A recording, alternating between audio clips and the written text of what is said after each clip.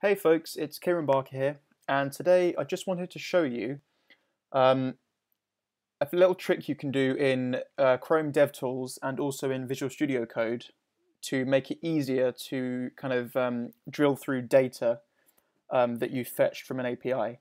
So for this example, um, I'm using one of the JSON placeholder endpoints. Uh, JSON placeholder is like a it's a free website where they have some endpoints you can use just to get back some like fake data to do testing with. So for this particular example, I'm using their users um, endpoint, which gives you back this JSON string of data. So I've set up a script to fetch this data. Um, I'm not going to show you the actual script because there's plenty of tutorials online on how to do that. Um, but so my script will, um, when I run it, it gives me the data back here in the console.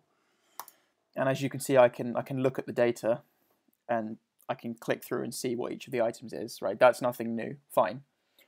But say if like I wanted a particular piece out of this data, like if I was just looking through and I'm like, okay, I want this bit and I want to know exactly like the properties and indexes I need to get to that bit.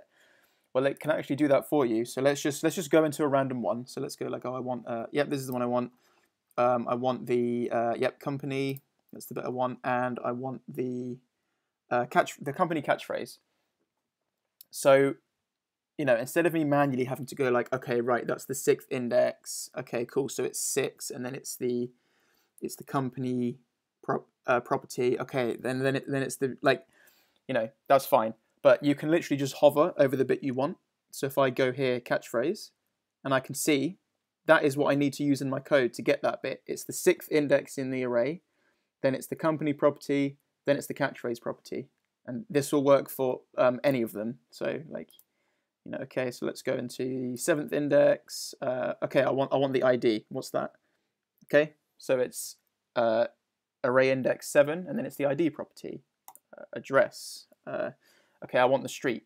Okay, so it's the index seven, it's the address property, and then it's the street property. So you can use that in your code, which is um, handy. It's like you can just see exactly what you need without having to like manually think like, okay, it's index this, you know, and then drill down, which is just awesome. Um, yeah, one thing I will say is that you have to expand it first, right? So this geo object isn't expanded right now. So if I just hover over it, it's showing object because it, it's showing me what this whole thing is. So you need to open it first and then it shows you what you need.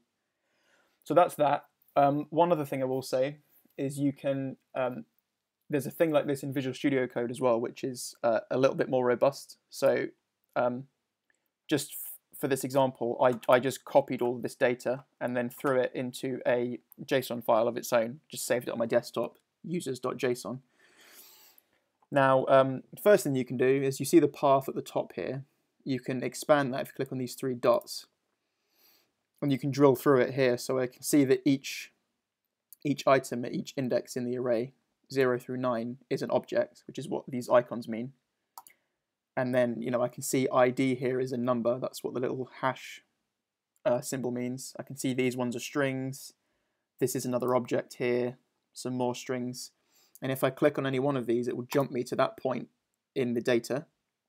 And the path at the top gets reflected to show. So I'm in the um, third index in the array, so the fourth item and then I'm inside the address um, property, and then I'm looking at the suite property, which is a string, which is uh, really cool. Um, you can also like instead of having to like manually drill down like that, you can just like if you were just looking through the data, I can go okay, uh, yeah, this is the bit I want, and the path at the top here gets reflected to show you that. So um, yeah, hopefully that helps you. Um, let me know if you have any questions. Thanks.